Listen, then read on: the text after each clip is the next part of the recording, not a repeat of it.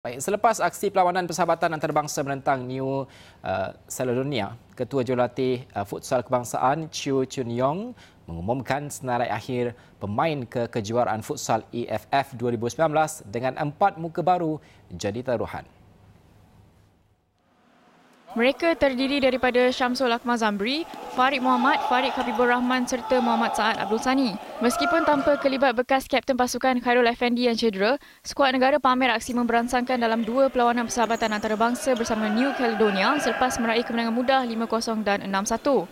Lebih meyakinkan buat Chun Yong untuk sekurang-kurangnya mara ke pusingan separuh akhir apabila rata-rata muka baru memberi kerjasama baik dalam pasukan. And this time 14 player will be without the captain uh, Cairo FND due to the injury tak sempat nak recover. So like it or not, we have to come out the plan plan B uh, without the captain, and also I think the player cope very well.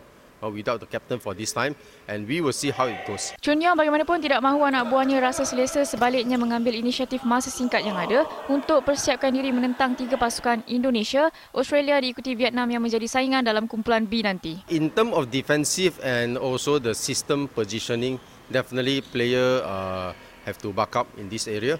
And I have uh, one or two more sessions to, to touch up this area. And also the finishing part then that uh, my player they really have to look into